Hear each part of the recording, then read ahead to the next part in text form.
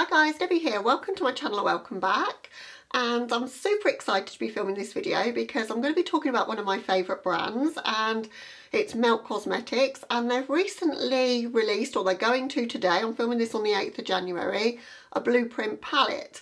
So blues mixed with neutrals, which if I'm going to wear blue, blue isn't my favourite colour for eyeshadow, but if it's mixed with neutrals I can get on board with it.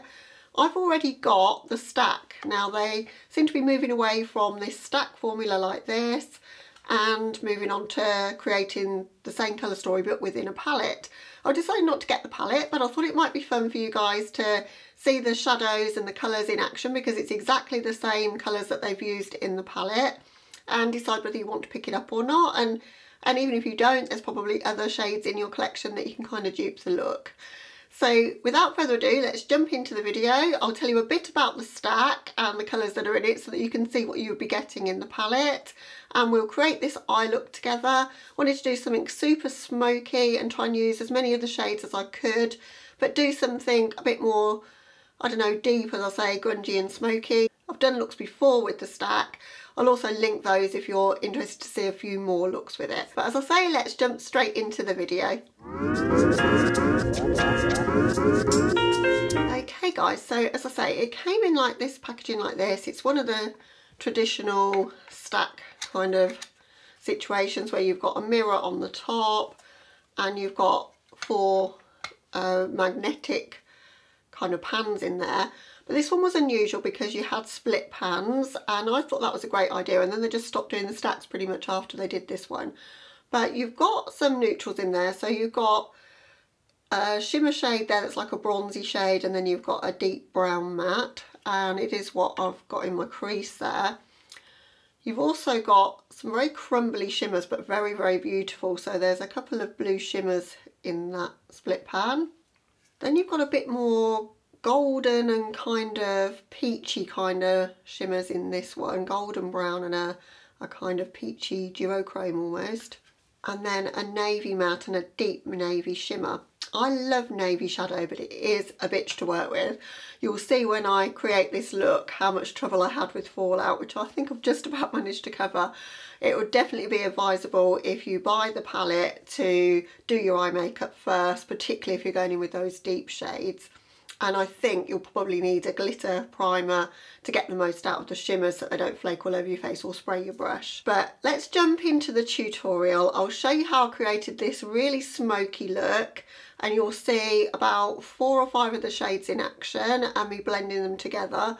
Hopefully that'll give you an idea of, of what the formula's like but also see some of the colours and as I say if you don't have this this stack and you're not intending to get the palette just use what you have and create something similar. I think we've probably all at this point got a brown, a navy, a shimmery blue. You know, you can find things to create the vibes of it. And I wanted to show you how I create a smoky eye and kind of how I've adapted my technique to do it. So let's just hop into the tutorial and I'll catch you on the other side with some final thoughts on the shades that I've used and sort of wrap up the video and whether I think you need the palette. Okay guys, I've zoomed you in nice and close and we're going to start with priming with the MAC Painterly Paint Pot. I'm going to prime all over because I'm going to be doing a bit of a smoky eye and I'm not sure how far up I'm going to take it so just going to literally cover everything, just cancel out the veins and redness. So we're going to use the deep blue from the stack as the main focus of the look I want a neutral crease, so I'm going to use the shade Hammered in my crease. And I'm going to use a bit of Skylight in the inner corner. And I'm going to do a bit of a rounded shape today and I'm going in with a fluffy brush. This is one by Crown and I'm just going to focus that in my crease. I've always found the stacks to be somehow more blendable and just all round better quality than the palettes but I know Melt are moving everything into the palette. And as I said in the intro this uh, was in a stack for a very short period of time. So it's a limited edition and it disappeared very quickly. And I picked it up because I like to wear neutrals with blue because if you've been here before you know I'm not the biggest fan of blue eyeshadow. Everybody always tells me it looks nice on me when I use it, but I'm never that much of a fan of it, of it on myself. But that is looking nice, easy to blend and a nice tone. I'm just going to take some of that under my lower lash line as well. I want this to be blended out, kind of blown out kind of look, but with a lot of smoky blue on the lid. There isn't a lighter blending shade in the stack on, there won't be in the palette because they're the same, so I've taken a bit bigger brush to try and blend using that. I do find it a little bit easier if I've got a a lighter tone blending shade but it's just takes time and patience just to blend a shadow like this out. So I think that's the foundations for the look.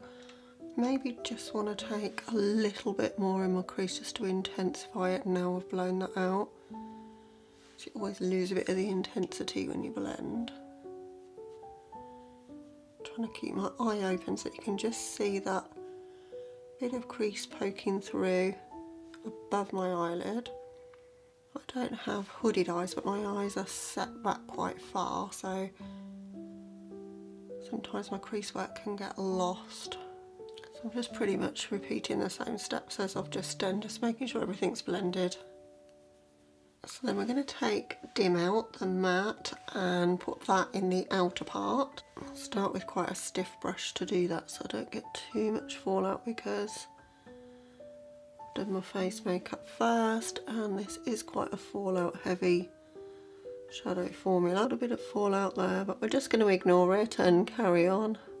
So using this kind of deep colour you're better really to do your base last, but I don't like to do that.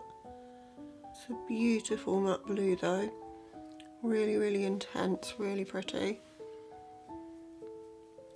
Now I've got that down, I'm going to start working that into my crease and I am going to pull a touch of it across my crease as well because I want to give us something for that shimmer shade to blend into.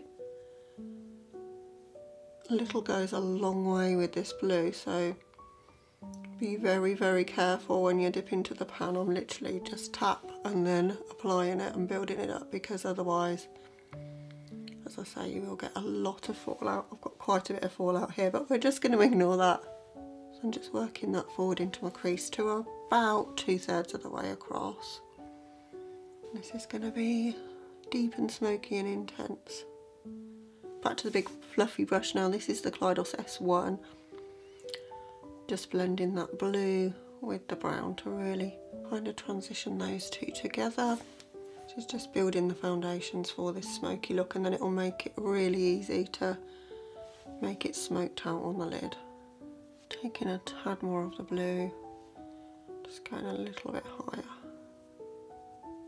And I want to get some of this blue onto my lower lash line. So I'm going to use a smudge brush and that same blue shade and just stamp that as close as possible to my lower lash line.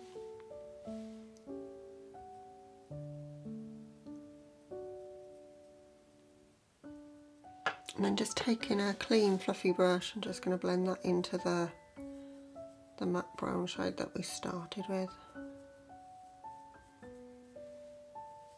Way we'll get it fairly blown out but we won't end up with raccoon eyes which you can sometimes end up going too blown out with a deep colour like this, I think. In with NYX Glitter Primer, just going to cover the majority of my lids with that and then go in with that deep blue shimmer. I'm going to take the shimmer fairly high. I find sometimes when I'm putting a shade on my lid I don't go high enough so just trying to make sure that I've gone right into my crease with that glitter primer. And then we're going in with the deep blue shimmer. For this look I want to take the shimmer pretty much to the corner. Taking it a bit at a time but also I'm using the brush that had the glitter primer on so it's sticking it down a bit easier so there's not so much fallout. And then back into my crease just to Make sure I've blended that shimmer with the mats that we've already laid down. So it's just a backwards and forwards kind of look really to try and achieve like a, a gradient for a smoky eye. They're not the easiest or the quickest to create, particularly not with shadows that are as intense as this. So I'm just really working that shimmer into my crease and into the mats that are there. I think we've lost a little bit of the neutral crease that I wanted so I'm going to go back in with the brown and just further blend, blend out with that original brown shade. I'm not going to be afraid of taking it into this corner area because I think that can really add to the drama and the smoke in the look. This is one of these looks that challenges me because it's all about the blend. And blending is not my my strong suit but I think this year because I'm going to be more focusing on using things I have it's going to be more about practicing the techniques rather than trying all the new things. I think it might be nice to have a brow bone highlight with this look. So I'm going to go in with the shade Beaming. Just going to pop that just very sparingly just above my brow there and then I'm going to take Starlight in my inner corner. This is such a pretty shade.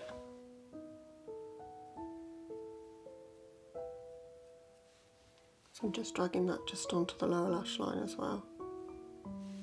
It's one of those really textured shimmers. It look beautiful all over the lid. Alright, so that's the look to this point. Just going to hop off camera for something in my waterline, mascara and a lip. I'll be back with you with the finished look and to wrap up the video. Okay guys, so here's the finished look. I think it looks super pretty and it's the sort of blues that I can get down with. I really feel myself in this look actually. I think it looks really, really stunning and quite smoky and kind of nighttime appropriate I guess, but it's definitely the way I would like to wear blue anyway. In my waterline I've gone with a NYX pencil, this is the shade Azure. I just wanted to bring out a little bit more of that shade that I've got in the inner corner and I think it worked to do that. And just lighten things up a little bit because it's obviously a very smoky look. And then I've used a melt lipstick. This is the shade Stepford. A little bit of a cool tone mauvey kind of brown but I think it works with it. And yeah I think it looks really really pretty. So I had fun using the stack again and fun shopping my stash. I've had this stack for I don't know, well over a year I would say. And it just reminded me when I saw that the palette was coming out that I just haven't used it very much. So yeah, it's been fun to do. Now, my thoughts on the, the shades inside. Super fallout heavy formula. Don't go swirling your brush in there because you'll get so much fallout. I literally only ever tapped to the pan and fallout was just raining down my face. I was trying to brush it away sort of off camera and I've covered it up with concealer and a bit more highlight but it kind of you know was a bit more than I expected there to be. It's been a long time as I say since I've used this. So if you want to get a super intense look probably do your eyes first and your face makeup second but you can create some really like just easy neutral looks with this. Like you've got a, a nice sort of couple of shimmers there, which if you use that brown matte that I used in my crease and then just either one of these on the lid, you've got a nice, super easy, daytime appropriate, you know, just neutral look. But you can go super dark and smoky like I've done here. I mean, that blue shimmer shade, the shade King stirred out of here, just beautiful. And as I say I love a navy matte as well. I'm always down with those. This shade the light blue the starlight shade uh, was just so magical in the inner corner. I can't wait to play with that again and put that on my lids. I think doing maybe a cut crease with the deep blue and then just having that by starlight on the lid could look absolutely stunning. And then as I say you could go a bit more smoky but just use the bronzy shades out of here. There's so much you could do with this palette if you buy it. You're not going to be able to buy the stack because it's not available anymore. But if you decide to go for the palette and you like blues and you like neutrals and you like the mix of them together, then I think, as I say, it's very versatile. And I'm still on the fence as to whether to buy the palette because the stacks are awkward really. I've bought a, a metal tin to store them in to kind of make things a bit easier because they are a little bit kind of tricky. I haven't used nearly enough of these up, so I, I really don't need it, but they still pull to me. I don't know what it is about about Melt and how they package things and market things, but they just make you want it all. So as I say, the palette releases today as I'm filming this. I'm hoping to get this video up today, so it's in time to help you make your decision. Do you want to pick up the palette? Do you maybe have things that you can dupe it with in your collection? Or maybe you've got the stack and you're trying to decide, like me, do you need the palette as well? I honestly don't think you do, really. It's just more the convenience of having the palette packaging, which you know, I probably would have preferred if I hadn't got the stack, but now I've got the stack, that's what I'm probably going to stick with. So that's my views on it.